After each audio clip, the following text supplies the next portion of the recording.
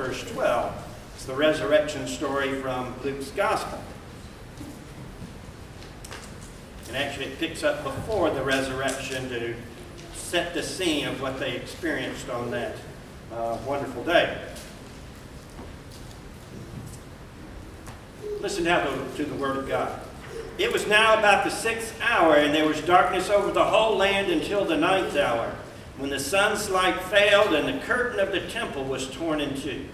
And then Jesus, calling out with a loud voice, said, Father, into your hands I commit my spirit. And having said this, he breathed his last. Now when the centurion saw what had taken place, he praised God, saying, Certainly this man was innocent. And all the crowds that had assembled for this spectacle, when they saw what had taken place, returned home eating their breasts. And all his acquaintances and the women who had followed him from Galilee stood at a distance watching these things. Now there was a man named Joseph from the Jewish town of Arimathea. He was a member of the council and a good and righteous man who had not consented to their decision and action. And he was looking for the kingdom of God. This man went to Pilate and asked for the body of Jesus. Then he took it down and wrapped it in a linen shroud and laid him in a tomb cut in the stone, where no one had ever yet been laid.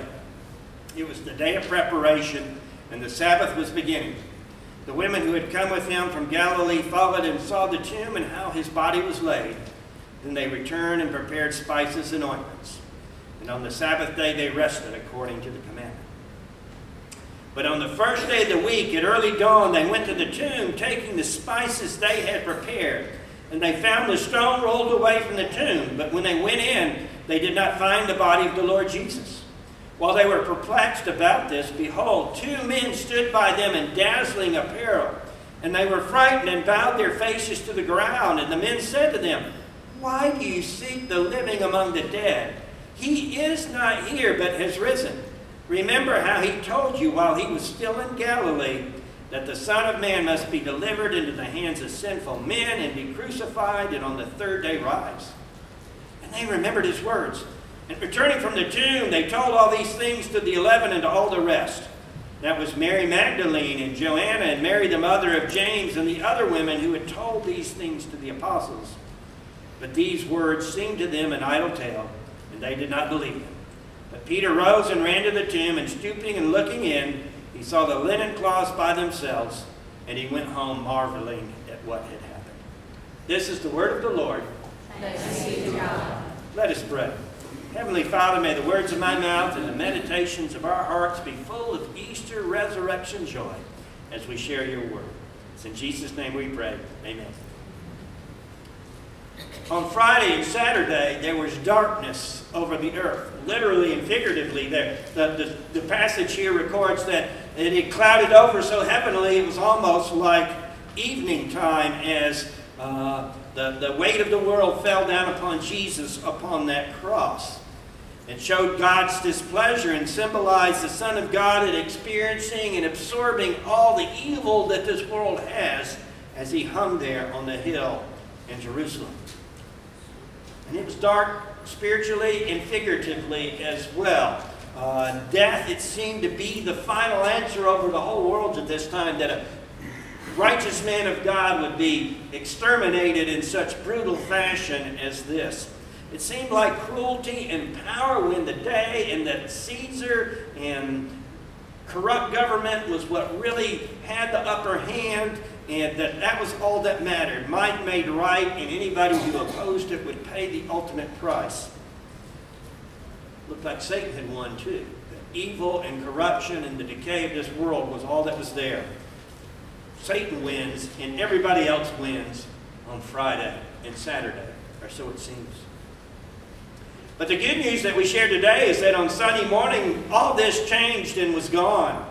Mary Magdalene and the other women creep to the tomb, their hearts aching with grief over their beloved Master and Lord who had been so cruelly executed and tossed aside uh, like a common thief. They wanted to pay one last moment of respect with him and prepare the body as much as they could before its final decay. And as they creep up, they wonder who's going to move that big stone that was sealing the tomb so that they could have access to it. But as they get there, they look up and see that that stone had been rolled back and tossed aside. And all heaven breaks loose as they peer into the tomb and look and see at the wonder of what God had done. There they meet angels appearing in dazzling raiment who tell them, Why are you seeking the living among the dead? You seek Jesus of Nazareth. He is not here. He is risen, as he said. Go to Galilee, and there you will find him. And of course, they are totally astounded by what's happening uh, around them. They are looking into the turning, pivotal point of human history, where we move from darkness and decay and this reign of Satan and the fallen world to the victorious reign of Christ and the new kingdom of God breaking loose. They were the eyewitnesses to this. And so fear and joy and astonishment and wonder and, uh, and all sorts of emotions runs through their minds at this time. What do they do? Uh, they, they look at each other and then they run back and for a few minutes they probably don't share it with anybody. Then they go and tell the 11 remaining disciples and the other folks gathered with them and share, we have seen the Lord. He is alive. He is risen as he said. Of course, what did the others do at that point? Did they take him seriously? Nah, they blow them off as hysterical, silly women at this point and don't take them seriously at all. Now, Jane, uh, John and Peter uh, run to the tomb and look in and see that everything is like the women said. The body's not there, just the cloth left behind. And they wonder what has happened. And Luke's gospel goes on to unfold where Jesus meets two disciples on the road to Emmaus. And they eventually come to see that this is the risen Lord. And then finally, after that, he comes back and appears with the, the eleven and the others gathered with him. And they see for sure that he truly is the risen Lord, that he has overcome sin and death. And God has vindicated all that Jesus said and did prior to this in his earthly ministry, so that it is truly God's presence and God's message for the world. We share all this today. See, uh, it's good news. Jesus is now Lord and Master, not Caesar or Satan or any other corrupt power. Jesus alone is worthy of worship and praise. He has overcome sin and death in human history, and we should follow him. His commands are the words of life.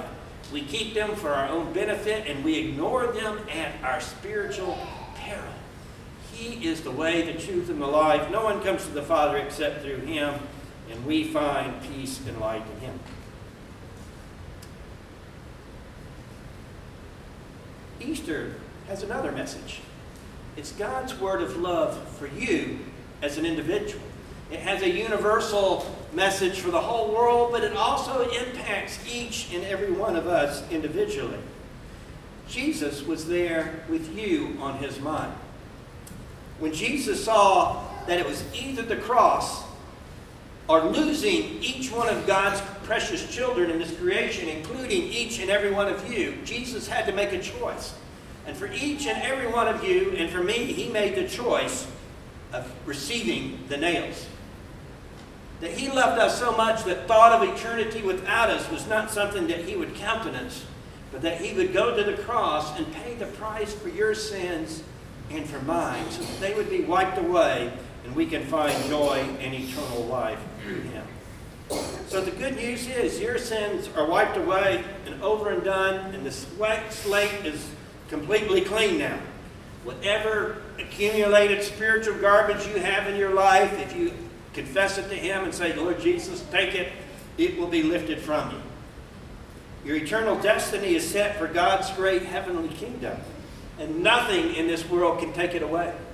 The only thing that can mess that up is you turning away from Jesus. But neither height nor depth, nor things to come, nor things uh, that have been, our angels, powers, principalities, nothing can separate us from God's love in Jesus Christ. So it is there, and it is for you.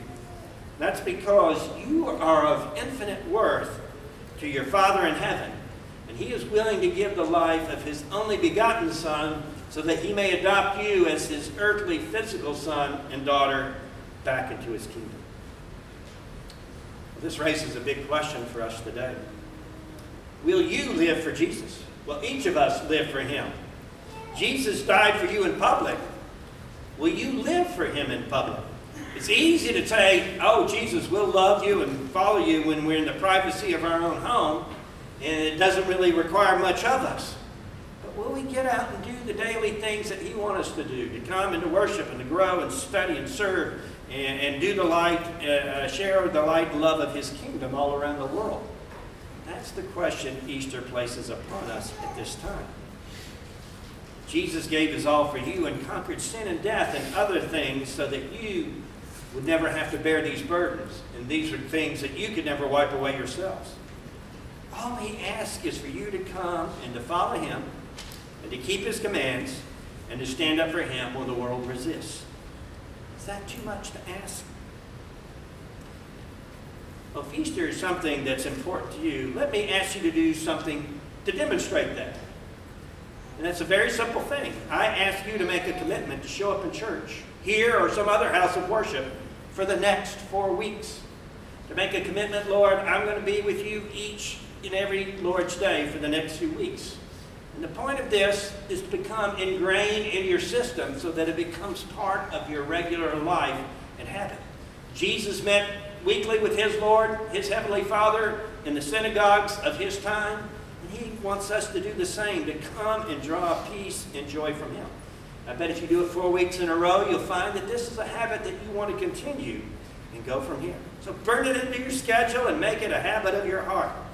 That would bring more joy and satisfaction to your Savior than anything else you could do because that would demonstrate your love for Him, your gratitude, your appreciation for all that He gave to you so that you can live as His son or daughter for all eternity. Thanks be to God for His gift of joy and resurrection life, that we have the, the peace and opportunity to walk with Jesus each and every day. Let us pray. Lord Jesus, help us to overcome our frailties and our weaknesses that uh, sometimes lead us to cast you aside and not take you as seriously as we should. Lift us up and help us to live with full Easter resurrection joy, not this week, but next week and the week after that and the week after that and for the next remaining however many weeks there are in 2016, Lord.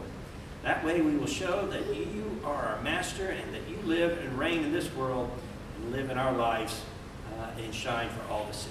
Thank you, Lord, for your grace and mercy. Help us respond as your eager disciples. In your name we pray.